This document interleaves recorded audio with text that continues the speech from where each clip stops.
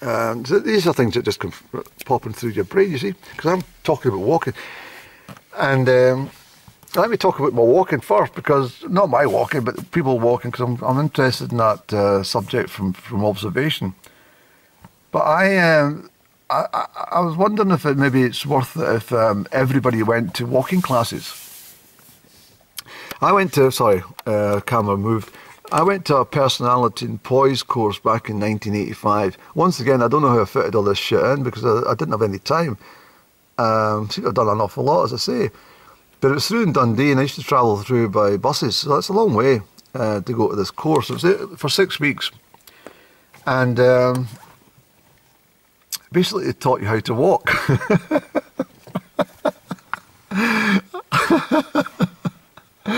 oh man, I don't know what was going on in my brain at that time. Uh, but this, this um, course that I done, I used to. I mean, I went to any any prospective employer and I said to them, this, "What was this you were doing? Personality and poise? What's that all about?"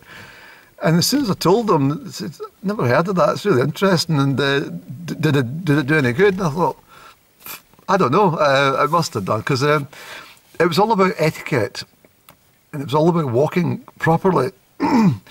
And it was all about, I mean, I'm talking walking like they used to put a book, a book on top of your head and uh, you had to walk um, back and forward in the classroom.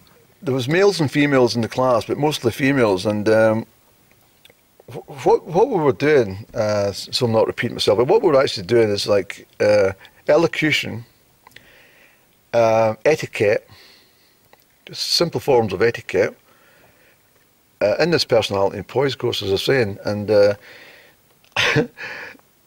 and walking correctly. Now, if you imagine uh, the females, you know, the skinny, lanky females that you get in the catwalk in uh, in these uh, fashion shows and from you know from modelling modelling agencies and stuff like that, and they walk differently from anyone else. That's that's the sort of thing we were doing. Um, it's an exaggerated walk they have on the on, on catwalks you know, if you ever went to a, Milan fashion show, because that's the only reason you go to Milan, isn't it? Uh, either either for football or fashion, you wouldn't you wouldn't really go to Milan for a for a week's holiday. But um, the so the purpose of this course was, uh, as I'm saying often, was uh, to walk and stuff uh, with this book on your head, turning correctly. So there's a different. If you're in, um, I mean, it's a ele- very elegant thing uh, if you're, I'll just revert back to supermarket or the, or the library.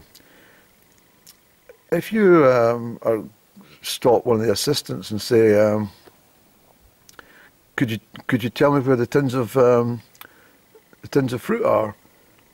Or or or can you tell me where, could you tell me where your uh, local history section is? You know, in the library, and they says it's over there um, just just behind that, that that stack there, and you walked over. Um, if they said no, no, uh, the other side, you wouldn't stop in your tracks and just like turn and you know twist twist your uh, arm, uh, sorry, twist your back muscles of that. You would turn, pivot and turn in a most elegant manner, and that's what I do. I, I kind of I, I, turn. I don't just turn round. I, I, I pivot my it's, quite hard to explain this actually, but I put my foot out and turn most elegantly. And um, and that course actually done me a few things. So it sounds really odd me talking about this, to be honest, but um, I'm hopefully making sense because my, my speech is all over the fucking place.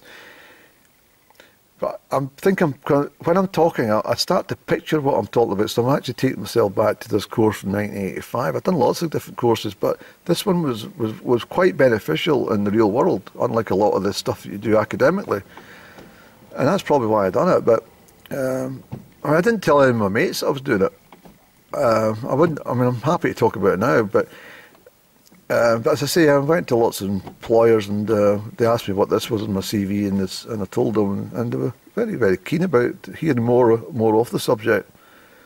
In fact, I remember getting um, I remember getting interviewed for an office environment job uh, some years back, and uh, the man who the man and the woman who uh, interviewed me he said to me, I said, I've never met anybody more interesting than you. I, felt like saying that we lived, lived, a pretty dull life, but but I think he, he meant quite genuinely because I'd, so many so many things to talk about and so many subjects and so many uh, different jobs from my CV. He said, I find you very interesting. So anyway, I got the job. And uh, and the woman who actually uh, this is quite quite embarrassing in a way as well. Well, it's not embarrassing; it just happened the way it did. Um, due to the um, the office environment and kind of leaning forward uh, at at the, the desk all the time, uh, you start getting quite sore necks and stuff, right? These skeletal pains that you get. So one of the girls um, from a, another team came over and she tasted me, she talked away. And I told her, she said, I'll, I'll just give you a massage. Um, what time are you on lunch? And I says, oh, this time. She said, we'll go into this room. And so we, um, she took her into this room. I mean, she she done what she said she was going to do, right, you know. But um, I'm whipped, I've got my shirt open and, uh, sorry, my shirt whipped off and that, and my, uh, my trousers, my belt undone and stuff, you know. And um, this woman who had interviewed me actually came walking in. She had the she had the room booked for some meeting, just as we were in there doing this stuff. She, was like, ah, "Oh my God, I'm so sorry. Could you not put a private sign up like that?" And uh, but she thought we were up to something else. It was fucking weird. Anyway, uh, at least my yeah, so neck muscles get sore. But yeah, I would say to you if um, if anyone's walking down the street and you think to themselves, well, they would much better being, they couldn't walk down the catwalk looking like that. They've no, the, the, mind you, in saying that as well, Andrew, just think about that. Or people out there, have you ever actually seen any of the clothes that they that were worn on the catwalks in any fashion show? I remember, um, I, I don't have any television as you well know, uh, but I remember um, watching on uh, on Sky Television. I think it was a channel called Fashion TV, and uh, I used to just like zoom in and see what was going on. I've coming from some major fashion show, and um, I sat and watched them. And uh, some of the bizarre clothes they wore. I've never seen anybody in my life wearing anything that's been uh, advertised on a, a model's shoulders at any of these fashion shows, male or female. It's just it just seems uh, stupid. It's almost like it's uh, it's a, a clique. It's a, it's um, I don't. I'll get the right words for that. Anyway, this is getting too long, Andrew. We need to cut this just now.